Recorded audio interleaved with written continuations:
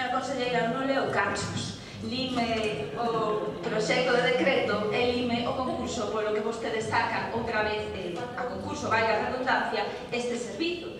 Eh, ben, eh, si a vostede non lle parece recorte pasar de 13 millóns de euros neste servizo a 3,75 millóns de euros, se a vostede non lle parece recorte pasar de 112 vehículos a que durante esta semana solo haya 44, se a vostede non lle parece recorte que este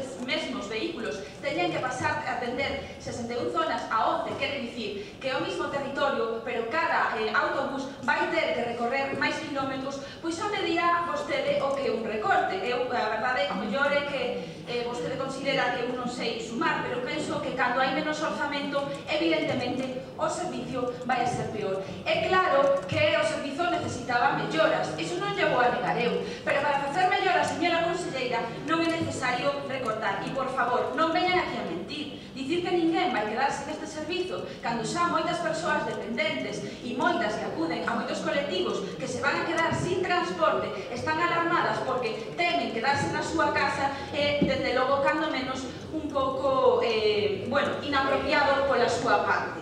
Hai moitas persoas que viven no rural que non teñen transporte eh, público e que tampouco poden ahora acollerse a este transporte adaptado. Polo tanto, é un cinismo pola súa parte vir aquí a dicir que ainda por riba van a aumentar ese servizo, señora conselleira.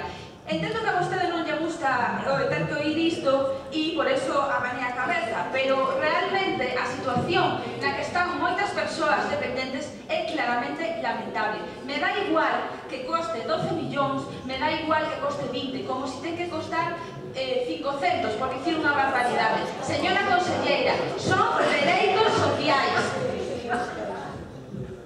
Gracias. Gra gra No, no, no. gracias. No, que, que terminado o tempo. Terminado o tempo,